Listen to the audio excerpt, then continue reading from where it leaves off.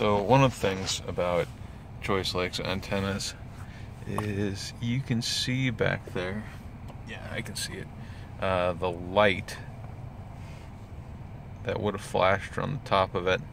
Um, that light and the light on the other three was actually used as a landmark for pilots landing at Lindbergh Field.